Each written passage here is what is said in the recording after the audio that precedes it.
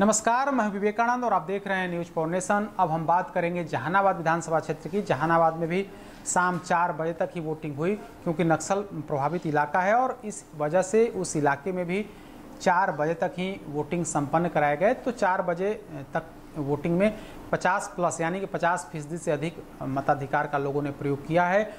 अगर स्थिति की बात करें, किसका पलड़ा भारी दिख रहा है तो वहाँ पर बात करें तो कुल 15 प्रत्याशी चुनावी मैदान में हैं। इसमें से कृष्णनंदन प्रसाद वर्मा, जो नीतीश कैबिनेट में मिनिस्टर वे जेडीयू के कैंडिडेट हैं। राजद की तरफ़ से सुदय यादव, कुल 15 प्रत्याशी, जाप के सुल्तान अहमद, बसपा के मनोज और लोजपा की तरफ़ से इंदू देवी हैं।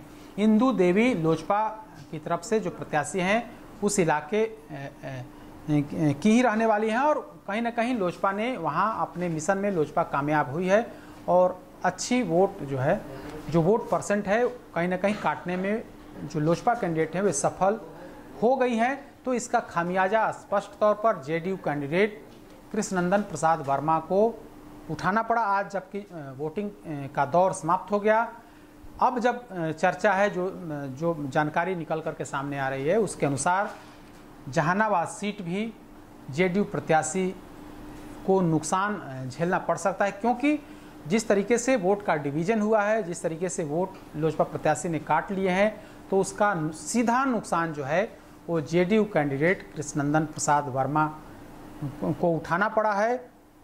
सुदय यादव, जो राजद के कैंडिडेट हैं 2015 के विधानसभा चुनाव में मुंद्रिका प्रसाद यादव चुनाव जीते थे, लेकिन उनकी असामयिक निधन के बाद उनके बेटे सुदय यादव को तेजस्वी यादव ने उम्मीदवार बनाया था और उपचुनाव में इनकी जीत हुई थी।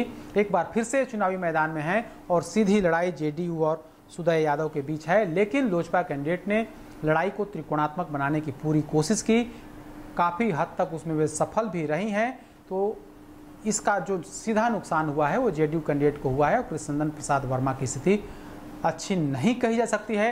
राजद के बनस्पत उनकी स्थिति कमज़ोर दिखी। आज चुनाव जब वोटिंग समाप्त हो गया है, उसके बाद भी अब यह चर्चा है कि कहीं ना कहीं जेडीयू यह सीट लूज कर सकती है।